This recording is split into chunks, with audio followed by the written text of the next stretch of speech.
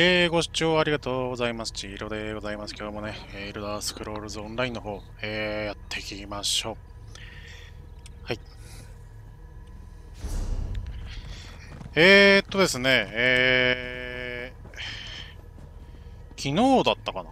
昨日か。昨日か一昨日ですね。えー、っと、今、サマーセットに、うん。なんかちょっとイベント来てますよと、うん、名前忘れちゃった。あの、詳しくはテロップとかなんかにもう入れますんで、うん、そちらの方でご確認ください。で、ちょっとね、えー、まあ、なんでしょうね、ちょっとその、イベントの模様を、まあ、ちょっと、まあ、確認しつつ、ちょっと遊んでいこうかなという動画を今撮ろうかなと、うん、思って、えー、録画を開始したところですね。えーじゃあ、まあ、早速、前置きもなんもないんで、やっていきましょうか。ね。うん。えー、今日はね、私のメインキャラのね、3人のうちの1人、えー、マジカソーサラのイデアさんで、えー、やっていこうかなと思ってる。大体はね、このイデアさんは、あの、まあ、何やるにしても、あの、汎用的というか、うん、まあ、あの、遊びやすいんですよ。うん、なかなか死なないっていうのがあるから。ちょっとね、サイジックの、あの、今、来てると思うんですけど、この辺りのちょっとね、まあ、あの、今ね、あの、イベントで、このサマーセット諸島で、まあ、手に入るモチーフ、うん、っていうものがね、ちょっと簡単に手に入りやすくなってきてますよと。うんまあ、いうことで、ちょっとまあね、もう今、まあ1日経ってね、あの、ちょっとギルドストアとかちょっと確認してみたらですね、まあちょっと安くなっていたんだと。うん、まあいうことで、ちょっと買い揃えてみました。最近ね、ちょっと金策の方も。うん。まあ、形がね、できてきて、うん、何かとやりやすいんで。はい。じゃあね、早速やりましょうか。えー、っとね、えー、なんか案内出てたかなうん。これじゃない。あ、これでいいんだ。口。うん。えー、っと、今、サマーセットの祝典、うん、というものが、どこで確認するんだ、これは。まあ今、サマーセットまあ簡単に説明しますとね、サマーセット諸島で、まあちょっと遊んでれば、まあいろんなね、まあ報酬を得るタイミングで、まあなんでしょうね、サマーセットの貴賓箱っていう、まあちょっとしたイベント用のボックスがもらえると。うん。まあそのボックスを開きますと、えー、そうですね、まあさっきも説明しましたけれども、うん。まあこのサマーセット諸島で手に入る、まあ装備のモチーフ、ね。えー、た、だからリスタイルで使う、まあ、リスタイルで使うじゃないな、あの、クラフトするときに、あの、どんな見た目に、ね、あの、作るかと、うん、いう時の選択肢の中にある、まあ、見た目というものをね、うん、まあ、決めるのはモチーフという、うん、まあ、カテゴリーなんだと。ちょっと見せた方がいいのかな。うんわかりやすく。はい。ちょっとまあ、イリアさんは、あのー、あんまりね、あの、装備を作るというものに精通してないんで、まあ、大したあのモチーフなんてないんですけれども、えー、例えば、まあ、火事でいいか。うん、えー、作成すると。うん、まあ、防具にしましょうか。うん、まあ、銅当て、うん、作るよってなった時に、ね、このスタイルってとこですね。うんまあ、ブレトンですから、ブレトンはまあ最初から持っていると。で、まあ、レッドガードなんか、どっかで覚えたんだろうね、きっとね。まあ、レッドガード、ノルド、うん、アルゴニアンと、あとカジート。このあたりの、えー、モチーフは、ね、開けたからね、作れるようになってますよ、というところですね。まあ、いろんなのありますね。ドゥエマー、古代エルフ、時の騎士団、蛮族、野生、デイドラ、トリニマク、古代オーク、ダガホル・カバナント、ね、ヘボハート・パクト、アルドミリート・ミニオン、えー、衛兵、セレスティアル、えー、緑水晶かな、うん、シブキン、魂なき者、ドラグル、赤ビリ、帝国、ヨクダン、ミノタウルス、えー、ココダン、アバーズ・ウォッチ、スキンチェンジャー、モラグトング、ナガータ、ドロマスラ、アサシントメ、もうすごいあるね。無法者、えー、レドラン、フラール、ミリタントオーディネーター、テルバンニー、オイアンとアミガ、この辺りはあれだね、モロウィンドね、アシュランダー、虫の教団、シルケンリング、デイドラ系だね、マザッタン、フォロージャック、リー・ファブリケイト、えー、ブラッド・フォージー、ドレッド・ホーン、シト、エボン・シャード、え？エボン・シャドウ、うん、サイジック、あ、サイジック、今来てるのがサイジックですね。うん、サピアルチ、えー、ウェルキナ。この辺りが今手に入りますね。サイジック、サピアルチ、ウェルキナ。この3つかな？うん。えーと、レモラ、ピャンドニア。ピャンドニアも手に入るね。うん、ハンツマン、銀ナル暁、デッドウォーター、ギジョウヘイ、古代アルゴニアン、コールドスナップ、メリディア、サンスパイア、ドラゴンガード、ムーングレイブ神殿、新たなる月の司祭、センシャルの盾、アイスリーチ魔術結社、ファイアウォッチ、えー、ブラックリーチの先遣隊、古代ノルド、古代ハイエルフ、あ、古代じゃない、太古だ。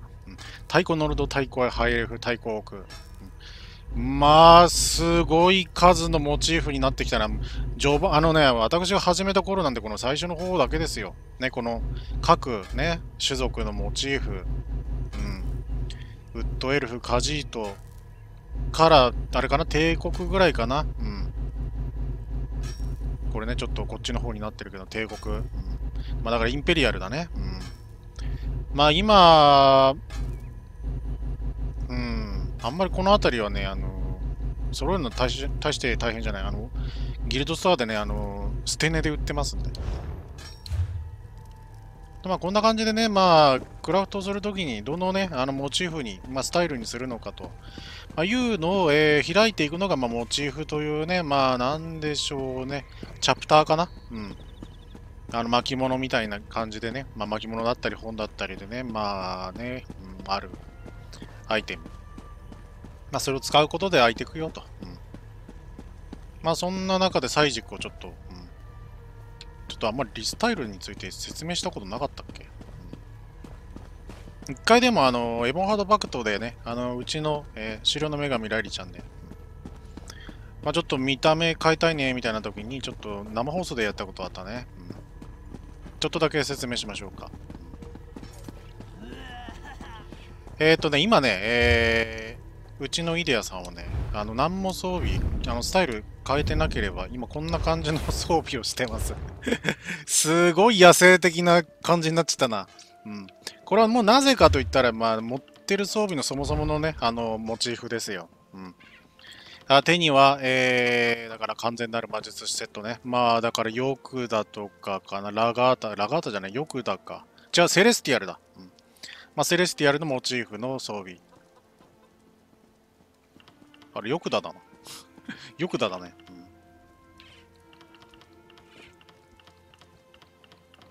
うん、うん、まあ、アクセサリー関係ないからあれだけどね。んで、まあ、まあ、銅に装備してるのはね、まあ、ネッチの接触ジャーキンということで、まあ、蛮族の見た目。うん、そして肩がね、まあ、イランブリスの肩当てと。うん、まあ、頭、マスクは今装備見せてないから、ちょっと見えてないけど、ちょっとこれやってみようか。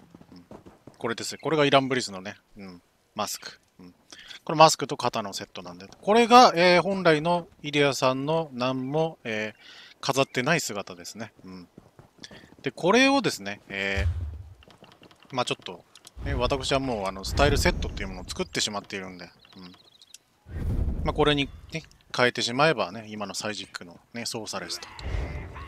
まあ私がこれ名前つけただけで、うん、こういうものじゃなくて、これはもう勝手に自分で名前つけれます。名前変更ってとこでね。うん。うん、まあこれを、まあ自分が開けてる、まあモチーフ、ね、スタイル、ね。で、えー、まあ好きに、まあ着飾れると。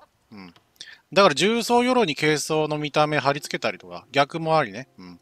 軽装の装備に、まあ重装の鎧をね、あの、まあ、見た目だけ、ね、貼り付けて、うん、っていう形をまあ作れるよと。ね、好きな、えー、ね、リスタイルの。まあ、もちろんこれは頑張って私が開けてきてるからこれだけあるわけであって。うん、ね、例えば、例えば重曹で見てみましょうか。ね、赤ビリの胸当てこんな感じですよと。ね、アサシン同盟、アッシュランダー、アネクイナ、ね、アバーズウォッチとこんな感じでね、まあいろんなのがありますと。うん。まあこの中でね、まあ自分がこれだと思った、まあ、見た目の、うん、なんでしょうね、えー、モチーフを、まあね、お金貯めて買って、うん。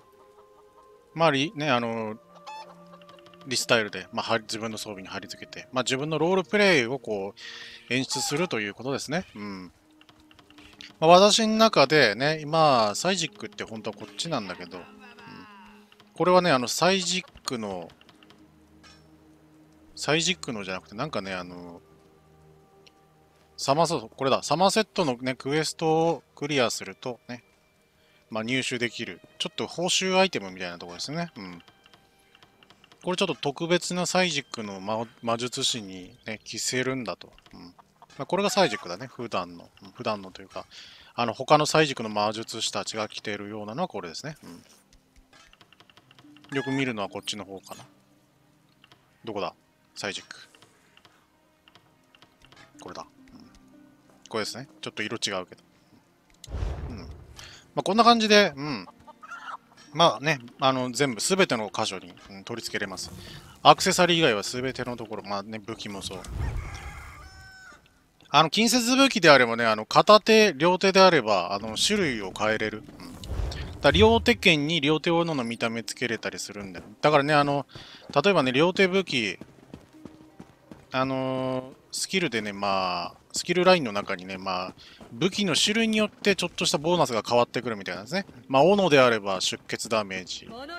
まあ、剣であれば、うん、後でね。まあ、剣であれば、まあ、そもそものダメージアップ。うん、で、えー、水、ね、あの土、うん、あの、先根、うん、であれば、あのー、相手の防御値をある程度無視したダメージを与えられると。まあそういった特性を生かしつつも見た目だけは変えれるよっていうことだね。それをやれば。うん、なかなかに、うん、いいスタイル、ね、このものには理解ができない。どうしたどうした？手数料がかかるのか。ガラムちゃん。箱を下ろすだけなのに？あ、消えた。そうよ。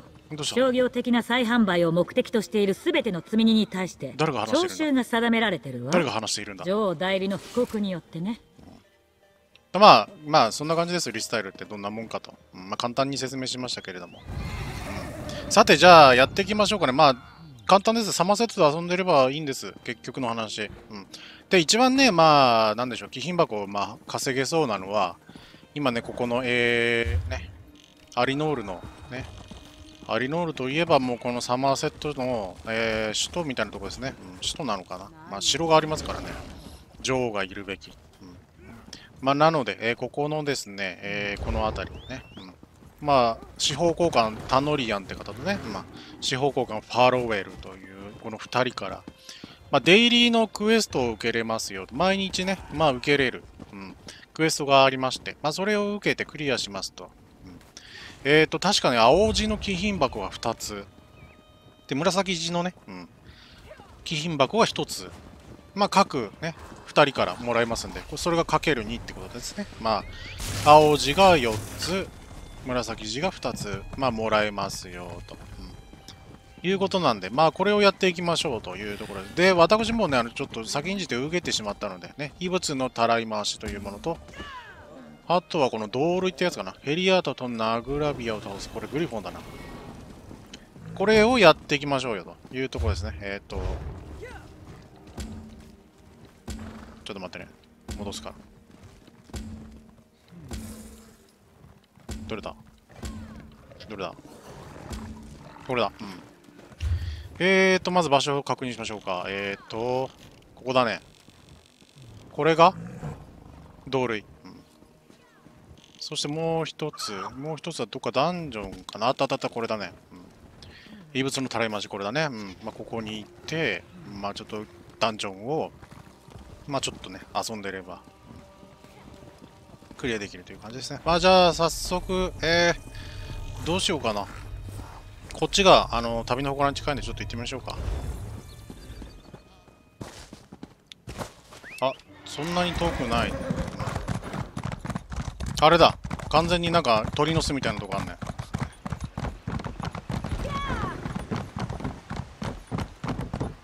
どうでしょう。いるな。やってる。ちょうどやってるわ。いいぞいいぞ。ちょっとカメラを引かせてくれ。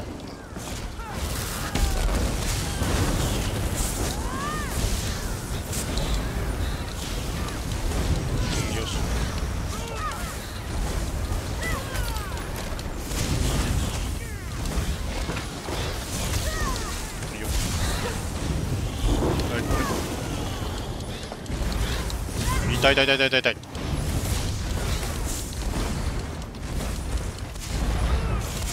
痛い。痛い痛いちょっと待って待って待って。待って待って。どういいつまでいつまで捉えられてるんだこれは。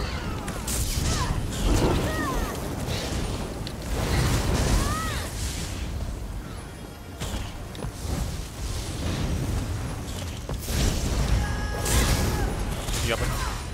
スタミナがねえな。さすがに。マジカソーサラだから。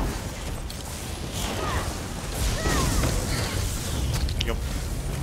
あ間違えちゃった。でも暗い。よっ。よし。ちょっとマジカの回復。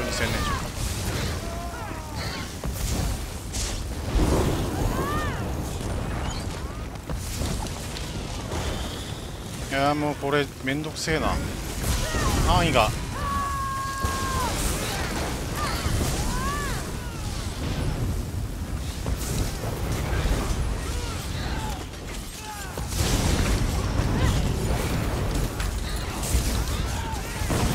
これ？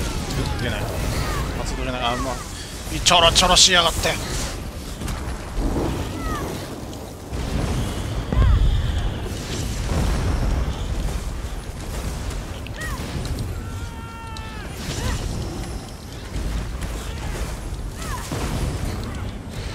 よしクリア。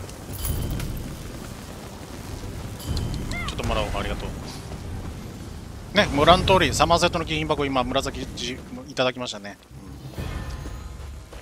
うん、まあ別にこれはさっきのねあのー、なんだデイリーと全く無関係なんであのただワールドボスを倒したからもらえた分ですね今のは、うん。まあ、こういうのもあって、まあ、たくさんねもらえるんですよ。まあぐるぐる遊んでたら、うん、さて羽を回収しなきゃならない。5つほど。5つどころじゃないな、15個。うん、ただ、まあ、各、この羽の山の中にたくさん入ってるんで、下にもあるな、なんか。あれを取りに行ったら、ここに戻ってくるの結構大変だから、ちょっと上先に回収しよう。もうだから、ね、今ね、あのー、なんなら西スカイリムよりもこっちのサマーセットにいる人たちの方が多い、うん、みんな今こっちに遊びに来てますからね、うん、サマーセット忘れん多分ねあのみんなねグレイムーア行ってあのー、ねまあ、ソリチュードの方にねハイエルマーチの方行ってるから、うん、まあ、ちょっとこっち寂しくなってるというのもありまして、うん。まあ良かったですね、イベントでこうやって人が集まってきて、またね、まあサマーセットの面白さみたいなのを、まあまた確認できるぞと。取れたかな、全部。これでラストでしょ、じゃあ。うまく降りないと。はい。よし、お取れたね。うん。ここにもある。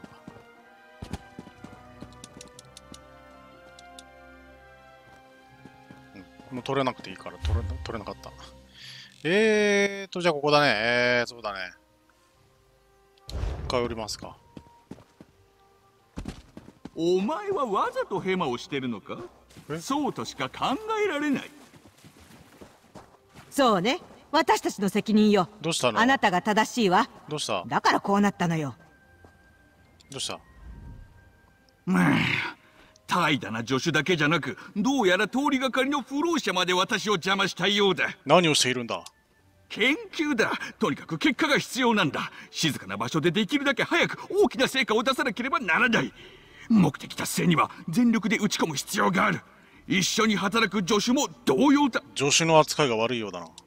私が助言を求めるような発言をしたか？必要ない。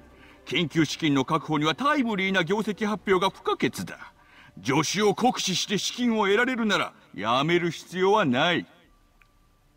彼らの扱いを良くするべき理由を5つほど挙げられるぞ。5つ？やけに細かく挙げたな。うん。意味が分かったぞ。助手には猶予をやろう。そうしろ。ああ皆さん私は説得じゃない教えられた親切な方に仕事を休んでもいいと。お願い。そして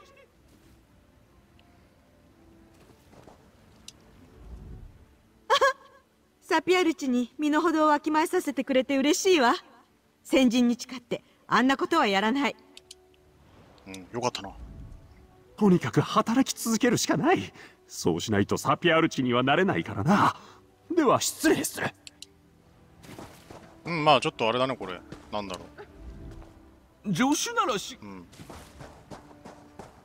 突発イベントみたいなことだね。道すがらで出てくる、うん、綺麗でしょ？サマーセット。なんかちょっとスクショ撮ろうかこれ。いいな。はい。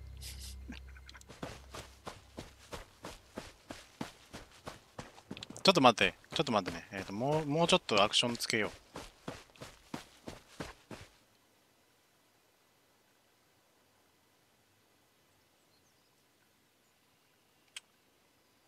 どれだったかな？探す。これだ。もうちょっと待ってね。うん。うん、いいね。探してますイデアさんが何かを 何が起きたんだろうね。さて、じゃあ行きましょうか。えっ、ー、と、ここで盗まれた異物をまず取り戻すっていうのが、デイリーだね。うん。それをまずやりながら行きましょう。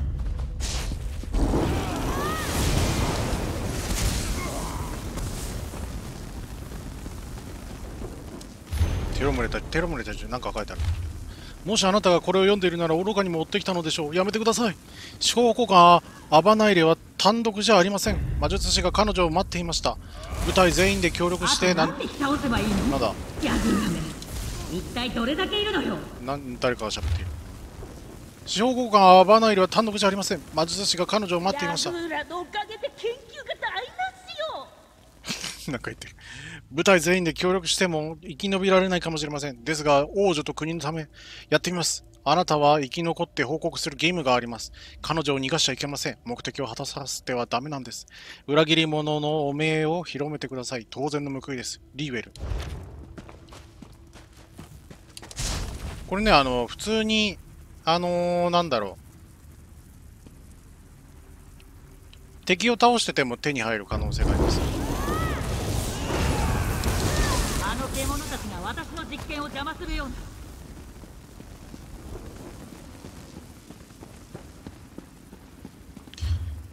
まあちょっと待ってよ、うん、そんなに簡単に落ちてる感じじゃねえな。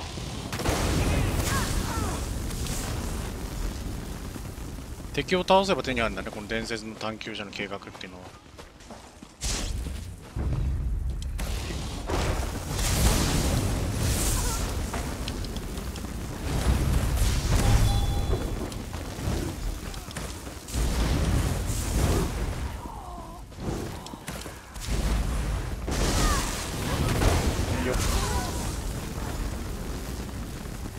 集まったみたい。さてちょっと矢印というかマークをちょっとね遠巻きに見えたりする可能性があるのでちょっと見ていこうか。あるなあそこだ。階段を登る感じだ2階。2階に上がっていく感じだな。あそこにもある。よし。よし1個目。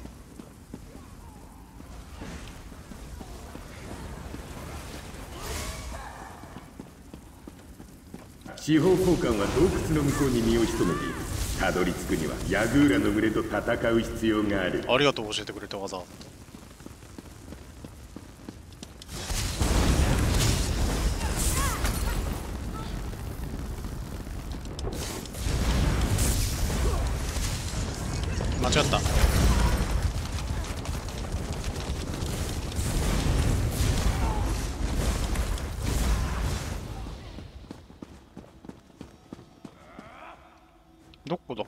目は今手に入れたのかいや、手に入れてない。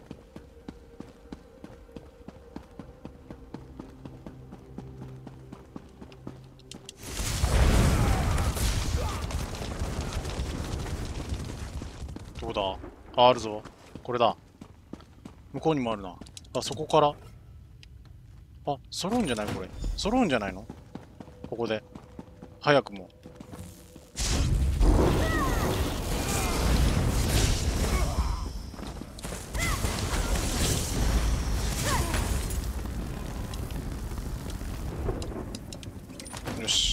し。揃ったね。うん。これでデイリーの方は終わりです。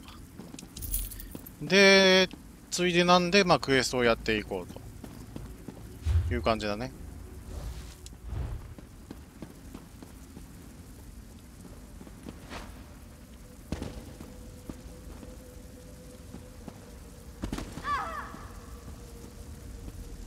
ボスがいるはずだけど。あれだ。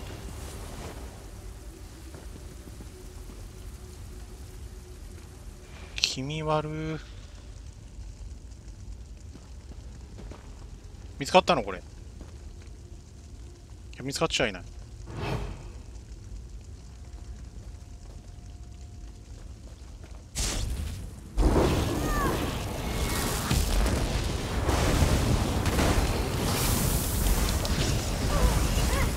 よし。瞬間的には3万5000円くらいで。よし、ほらね。うん。ボスを倒して手に入ったよと。はい、というわけで戻ってきましたよ。シマーリン、シマーリンじゃねえや、アリノール。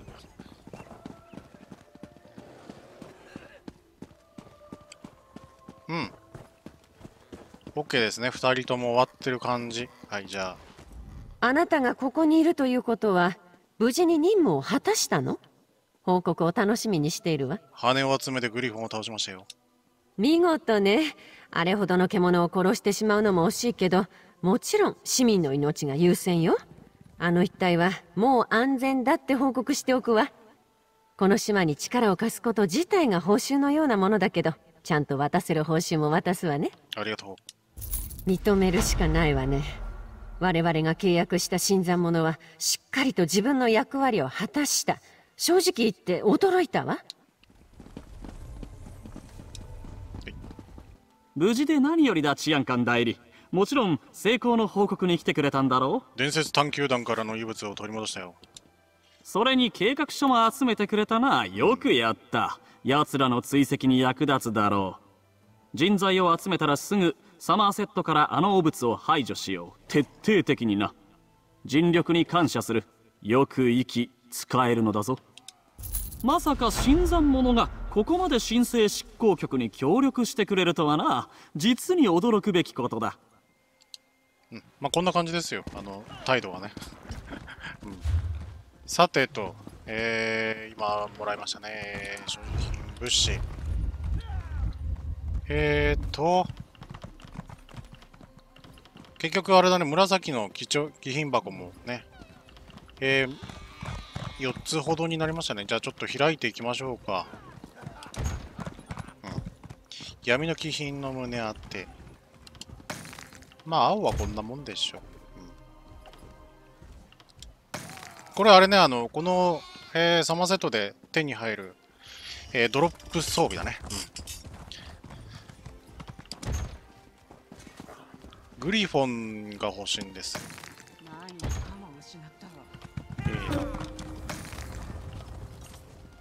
なんか来たよ。グループを組みたがっている。うん、ごめんな。なんか知らんけど。なんでグループ組みたかったんだろう 手伝ってくれみたいなことなのかないやでもランクこの人も810だよねあ違う233か233あったらやれるだろう 別に今から行くのかなっていうことで多分あれあのこの辺りにいる人をまあグループに誘ってんのかなもしかしたらいや、あんまり、あのうーん、あ、持ってるな、これ。あ、サピアルチの杖手に入ったよ。あ、バノスの帽子もムンダスのもありがたい、これ。あ、いいじゃないですか。うん。キャンドニアの探検？こんなん持ってた？今手に入ったもしかして。俺見てなかった時に。うん。まあ、モチーフのねチャプター1個手に入ったから、まあ、よしとしましょうよ。まあ、これを私は、まあ、アンドロモさんに預けといて、うん。まあ、私のね、マスタークラフターね、あの、バルバラに渡して、まあ、バルバラで覚えると。いうことをしてますな。これなぜかって言ってる、まあ、あの、装備作るのは、まあ、バルバラが作るもんだから。うん、まあ、バルバラがモチーフ覚えてるのが一番いいだろうと。うん。あの、モチーフの、あれは、アカウント共通じゃなくて、あの、キャラクターそれぞれなんですけど、まあ、その、リスタイルというもの、誰かが覚えてれば、アカウントで、あの、リスタイルとしては貼り付けられるよというシステムになってますんで。うんまあ、一応作れる人に、まあ、覚えさせるのがいいのかなという感じですかね。うん。というわけで、これを預けといて、ね、いらないもんはもう売っちゃう。うん。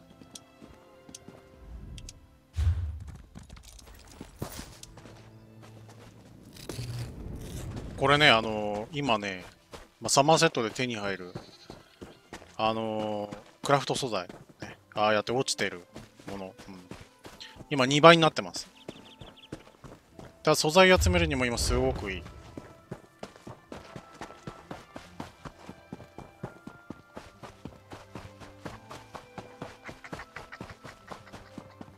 こういうのとかね。うん。あと、こういうのをこう取ってると、たまに、ほら、ね、貴賓箱手に入る。うん、あ、見て見て見て、これ。サイジックのポータル。これサイジックにあの加入すると、こなんだ、ネバネバした皮ってなんだ。手がかりか。お、いいね。あ、サイジックギ、まあ、サイジックの、まあ、ギルド、ギルドじゃないのかな。うん、に、まあ、加入すると。うん、え上級工場テラニールが踊ってらっしゃるけど。お話できないの？お話できない？上級工場が踊っていらっしゃる。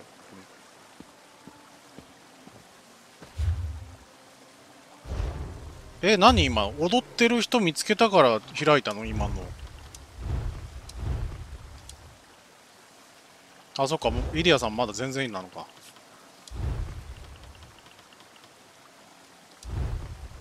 アリノールのアルマンド。感情表現なんだ、今の。へえ、そんな開き方あんだ。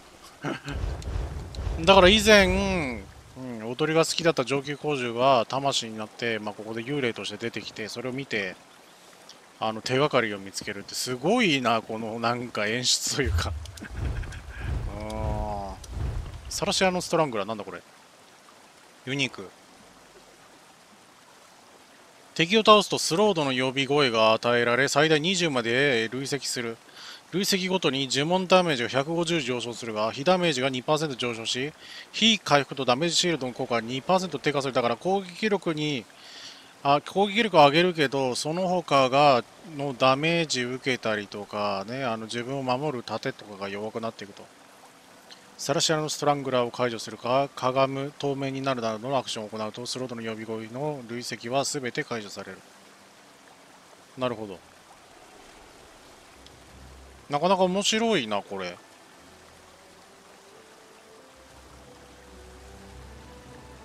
呪文ダメージが150上昇するだからね。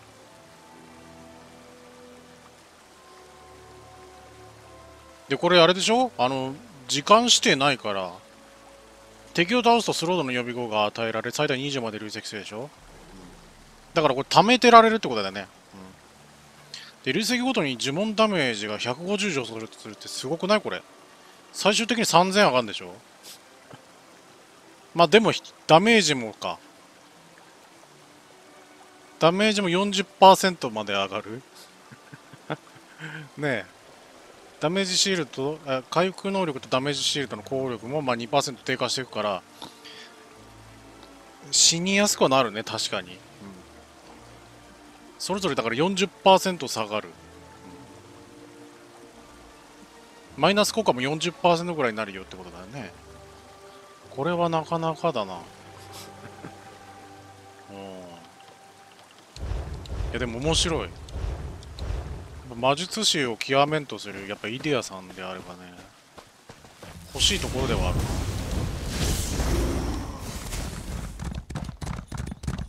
あやってるぞ。あれに参加しても確か手に入ったはず。間に合うかな。間に合ってくれ。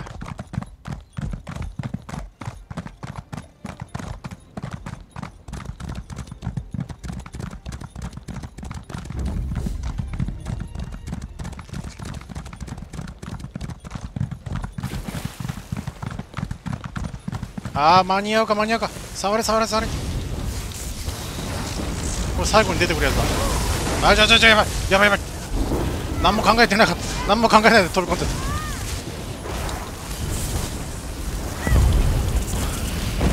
た。よしやれた。一つ真珠を破壊しても百の真珠がよし。手に入った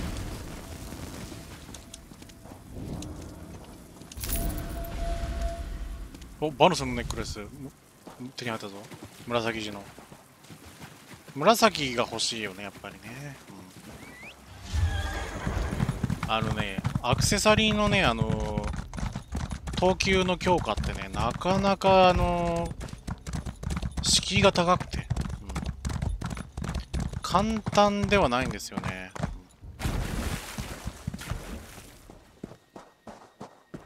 キールスプリッターちょっとやっていきましょうか。やれるかな？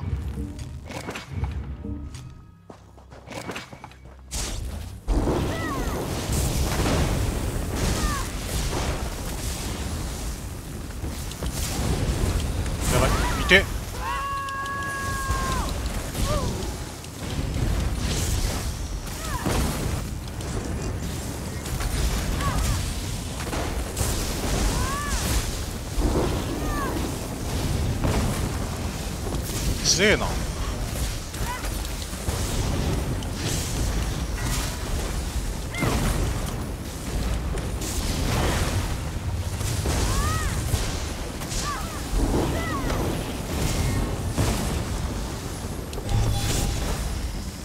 あ飛んでっちゃった。アルティメットを使ったのにそこに。あちょうどよかった。いてー。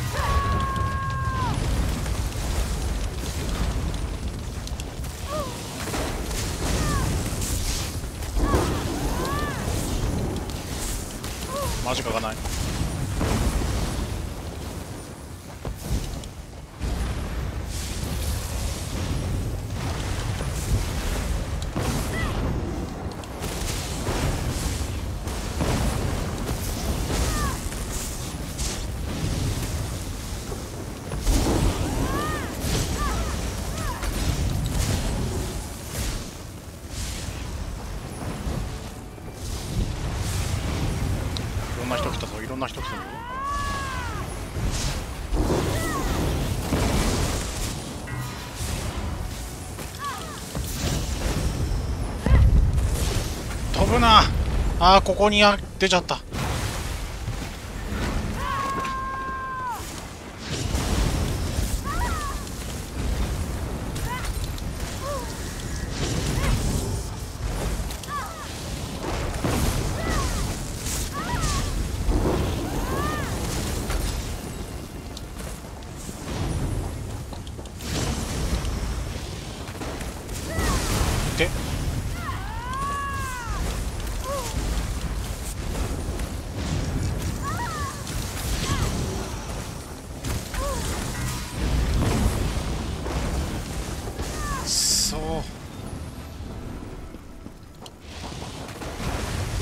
されてやりづれな。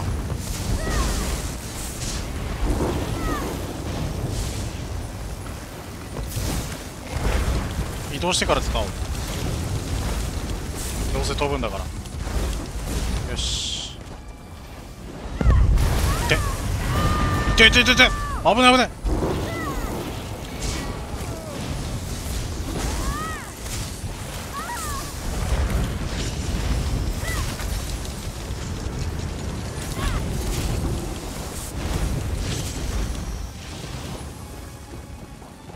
DPS だってな。痛い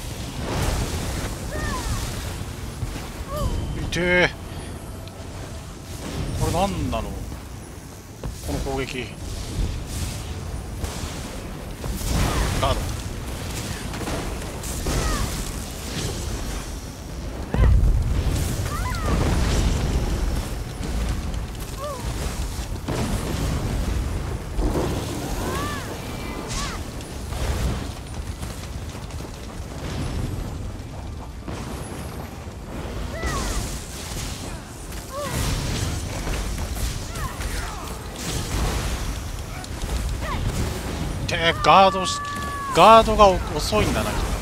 だから飛ばされてる。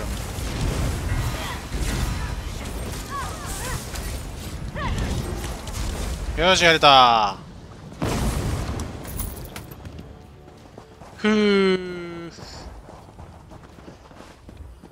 あれ手に入んないもしかして。あ手に入った。よかった。ワールドボスはもう間違いなくもらえるねこれね。ワールドバスを倒すの、こう巡ってたらいいのかもしれない。まあでもワールドボスってそんなにすぐ湧かないから、ね、4匹かな。うん。これ順繰り回ってても、ね、4匹倒し終わってても1匹目が、うん、湧くのには少々時間かかるから待ってなきゃなんないかもしれない。いや、綺麗だな。リランドリルか。サピアルチの大学があるとこだね。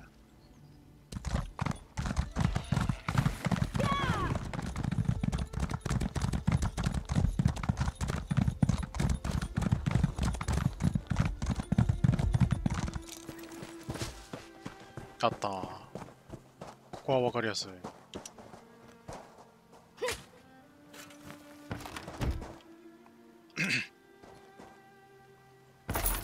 まあ、プレイヤーさんがどんどん戻ってきたってことは、あのこの先にいるワールドボスはやられてる感じするな。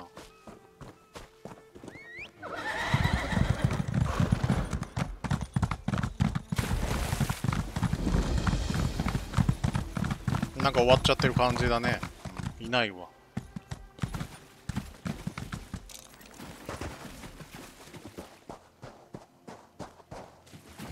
まあこういったったこともあるから、なかなかね、あのぐるっと回ったところでね、全部と対峙できるみたいなことも、ね、そうないよね。うん、したんで、あ、それで。えー、っと、うん、この中に入ってたやつ。うん、さて、じゃあ開けていきましょうか、また。うん、はい。おっピャンドニアのもの持ってるけど。俺、ピャンドニアシリーズは全部持ってるけど、なんなら。サイジックの剣、なるほど。あんまりサイジックは剣とかじゃないけどな。杖だけどな。まあ大体サイジックのね、まあ服着せるね、キャラクターなんで、大体魔術師ですからね。剣を持たせるってこともなかなかないとは思うんで。まあでもないよりいいよね。あ、ポータルあるよ。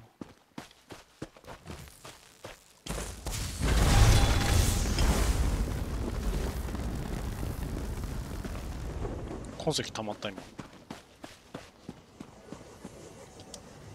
さあ来い。あ、注入の指輪。それだけだ。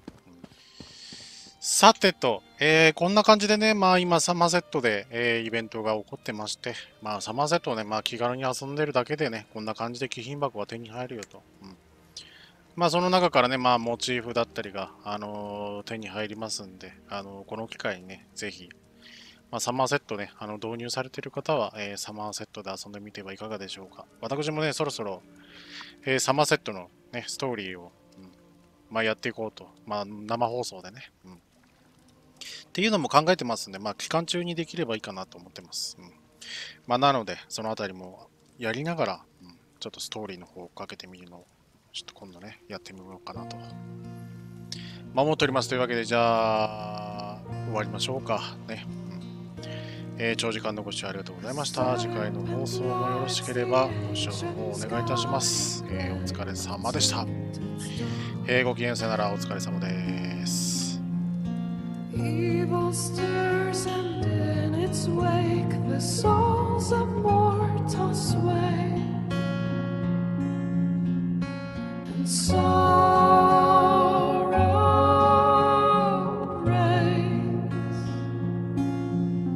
over fields of red